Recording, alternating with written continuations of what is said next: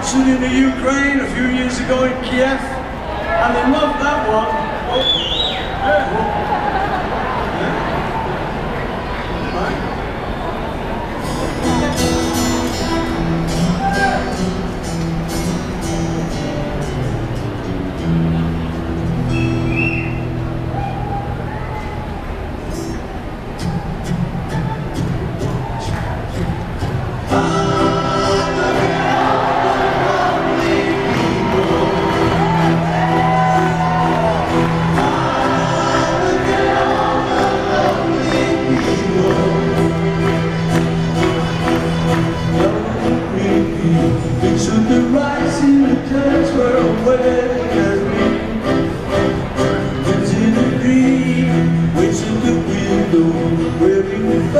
she leave in the dark by the door.